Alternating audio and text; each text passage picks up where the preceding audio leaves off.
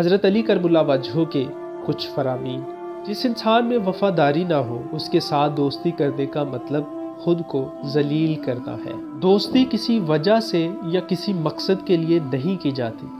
मगर जब ये हो जाती है तो ज़िंदगी का मकसद और जीने की वजह बन जाती है।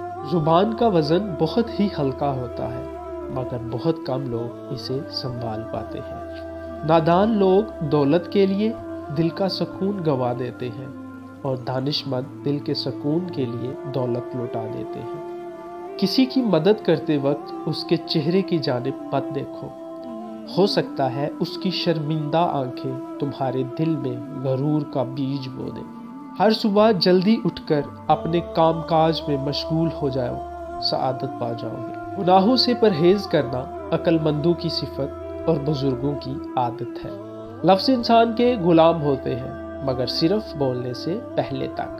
बोलने के बाद इंसान अपने अल्फाज का गुलाम बन जाता है। अच्छे लोगों की एक खूबी ये भी होती है कि उन्हें याद रखना नहीं पड़ता। वो याद ही रहते हैं। तीन चीज़ें ईमान को तबाह कर देती हैं, अमीरों की महफिल, औरतों की सोहबत और जाहलू से बहस।